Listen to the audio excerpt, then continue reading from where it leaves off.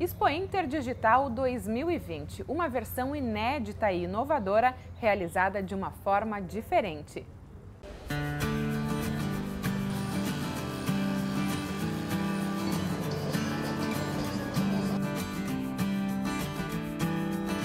Sem o tradicional e grande público que todo ano visita o Parque de Exposições Assis Brasil, Dessa vez, a programação foi transmitida pela plataforma digital da Expo Inter 2020. Esse é o nosso mundo, o mundo da mudança. E o mundo da gestão, né, de administrar a Emater, como nós estamos fazendo, ele vem de uma adaptação constante, todo dia e também fazer a extensão rural lá na ponta, né? as mudanças necessárias. Então a Expo Inter Digital ela vem despertar isso, ela vem quebrar um paradigma que porventura existisse em algum momento, né?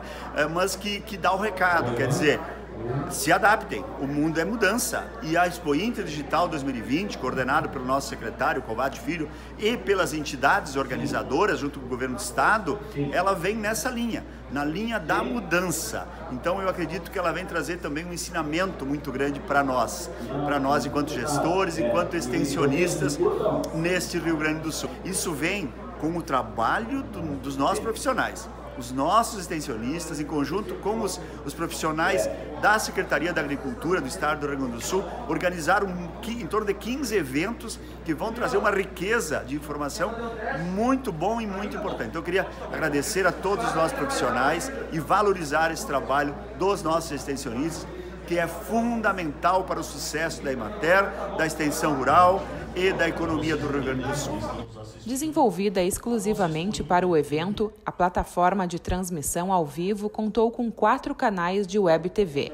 No canal do Agro, a Emater mostrou as novidades do setor. A transformação ocorrida a partir da pandemia, nós utilizando as ferramentas digitais, para levar conhecimento e informação aos produtores, dá a, a segurança de que a transformação ela ocorre. Ela ocorreu em função desse fenômeno. Eram tecnologias que já existiam, mas hoje nós temos toda essa possibilidade que nos dá a segurança de, de saber de que você gera o conhecimento, ele fica armazenado na nuvem e, e, o produtor lança a mão assim que ele tiver a necessidade ou o nosso técnico. Por quê? Porque nós estamos usando os que têm conhecimentos especialistas para deixar essa informação uh, armazenada, digamos assim, no universo para que para a disposição de todos que façam a melhor utilização possível. O momento é de adaptação para todos.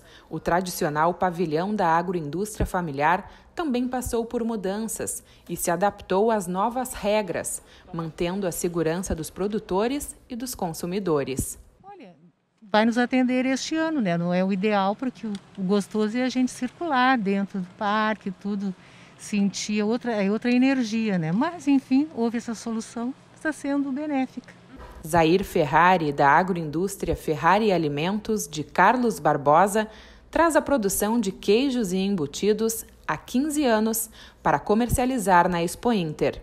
Eu legalizei a agroindústria no mesmo ano a Emater me escreveu para uma feira e foi dali que eu comecei a participar na, na Expo Inter. Para vocês, como é que está sendo essa experiência nova de comercialização, assim, na Expo Inter esse ano agora, esse novo meio de comercialização? Isso é, é uma coisa nova para nós também, né? Mas sempre foi encarado como desafios em todas as vezes que a gente faz o nosso negócio, então esse também foi um desafio e acredito que, que é uma coisa boa para ter até um conhecimento e eu acho que vai dar resultado sim, vai ser bom.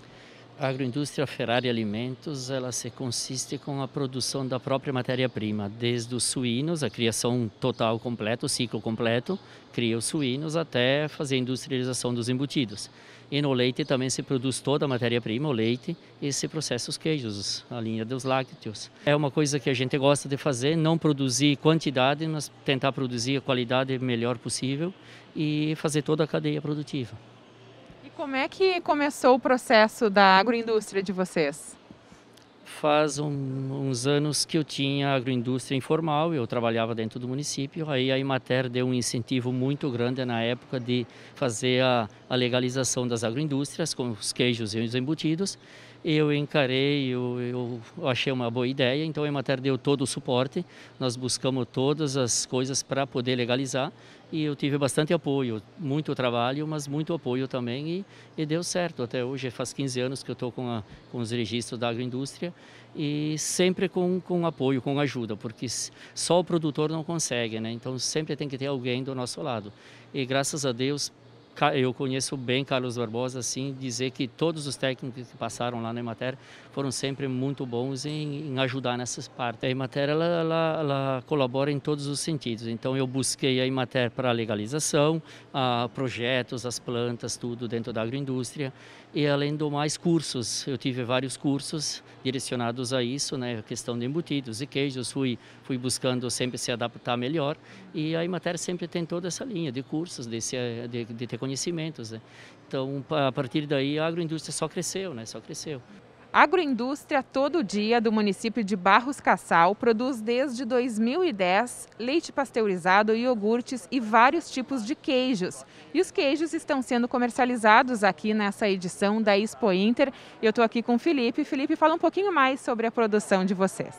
Bom, nossa produção começou em 2010. A partir, na época, então, nós entregava leite no município em embalagem de garrafa PET. Então surgiu de transformar numa agroindústria e pasteurizar o leite e vender ele em, no saquinho, barriga mole conhecido.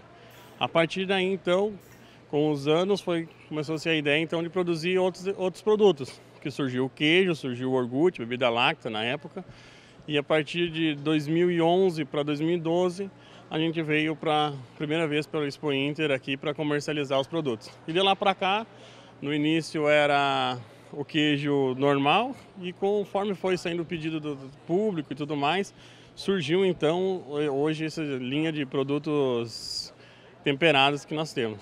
E vocês já estão há tantos anos também participando da Expo Inter, né? Como é que está sendo para vocês esse ano essa mudança no comportamento, mudança na comercialização dos produtos?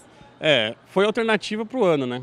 mas é diferente, não é o mesmo, tu não tem o mesmo atendimento, o mesmo contato com o público como, como nos outros anos. Tu não consegue dar aquela atenção para todo mundo, né? Mas, à medida do possível, acho que dentro do, da situação que a gente vive hoje, é o, é o que pode ser feito. Uma forma de se adequar ao momento, né? E não deixa de ser uma vitrine também de estar aqui nesse isso, momento. Isso.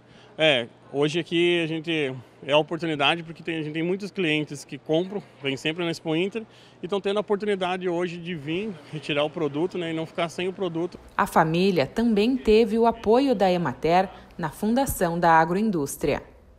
Quando nós surgiu a ideia, então vamos colocar uma agroindústria, foi procurada a Emater e a partir deles eles levaram nós em outras agroindústrias para conhecer e deram início a toda a documentação necessária, todo o apoio que era preciso para nós construir a agroindústria. O que, que representa essa parceria da Emater com a agroindústria?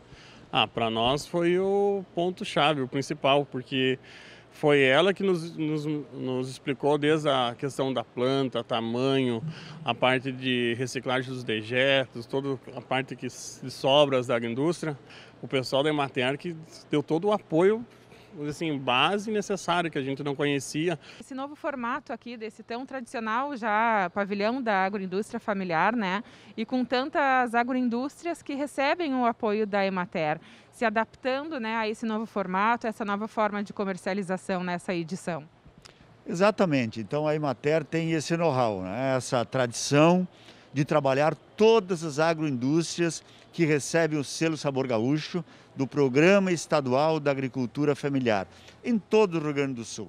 São mais de 3.600 agroindústrias que a Emater acompanha, eh, mobiliza os agricultores familiares, eh, colabora aí na organização, na legalização, enfim, até chegar no final aí, eh, desde a engenharia do prédio, enfim, até chegar à certificação e ter o selo Sabor Gaúcho. Isso é uma alegria muito grande. E a Expo Inter, em 2019, foi num formato uh, presencial, claro, né? e agora nós estamos nesse novo momento onde nós tivemos, tivemos que nos reinventar. E temos também uma venda aqui, com um número reduzido, claro, de agroindústria, mas nós temos a feira virtual. Isso que foi lançado, a Feira Virtual da Agricultura Familiar, nós lançamos lá no início, no, no, no, no primeiro semestre ainda, e a, partir dali então se começou a trabalhar essa questão de aproximar o, o, o, fornecedor, quer dizer, quem industrializa, quem prepara o produto, até o consumidor. Isso a Emater tem feito e feito muito bem. E agora também aqui na Expo Inter Digital 2020, além deste eh, pequeno número de agroindústria, mas com bom resultado também aqui.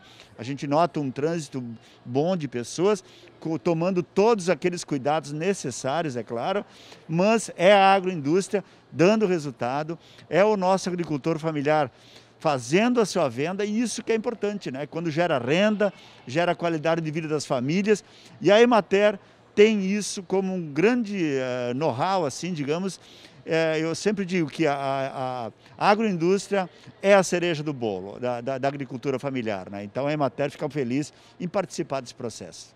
Justamente isso, a gente conversou com algumas agroindústrias aqui, alguns produtores, e todos eles destacam uh, o papel da Emater né, como fundamental na criação da agroindústria. Então, todos conhecem, inclusive, os colegas, os extensionistas da Emater pelo nome. Então, a gente vê que realmente esse é um trabalho fundamental para essas agroindústrias que estão aqui é a política pública chegando até a ponta, né? E ninguém melhor do que a Emater para levar essa política pública. Nós temos escritórios em 100% dos municípios gaúchos, temos parcerias com as prefeituras, com as secretarias de agricultura, com as, o, o, grupo que coordena a comunidade agrícola, digamos, dos municípios.